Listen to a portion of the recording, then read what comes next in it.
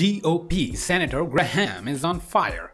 Hints at impeaching Kamala Harris and calls out Mitch McConnell over his anti-Trump rant. During his rant after the vote to acquit Trump, McConnell said that the former president committed a disgraceful dereliction of duty by his actions before the deadly Capitol riot and was practically and morally responsible for provoking the events of that day. Fox News anchor Chris Wallace asked Graham about McConnell's speech. Anchor Chris Wallace said, Let me ask you about one person that he might be mad at and tell me if he is or he isn't. Mitch McConnell, who made a curious speech yesterday in which he basically said the president is guilty, but that the Senate does not have the power to convict, to act against a former president.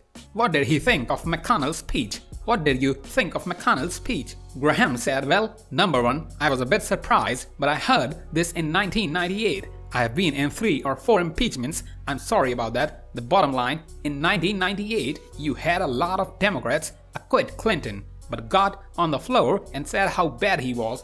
You know, Nancy Pelosi called us all cowards. I don't think most Republicans care what she thinks. He continued, I think Senator McConnell's speech, he got a load off a chest obviously, but unfortunately, he put a load on the back of Republicans. That speech you will see in 2022 campaigns, I would imagine if you're a Republican running in Arizona or Georgia or New Hampshire, where we have a chance to take back the Senate, they may be playing Senator McConnell's speech and asking about it as a candidate. I imagine if you are an incumbent Republican, there are going to be people asking you, will you support Senator McConnell in the future? So I like them. Senator McConnell, he worked well with President Trump. I think his speech is an outlier regarding how Republicans feel about all this. Graham also sent shock waves through Washington when he hinted that should Republicans get control of the House in 2022, they have every right to impeach Vice President Kamala Harris.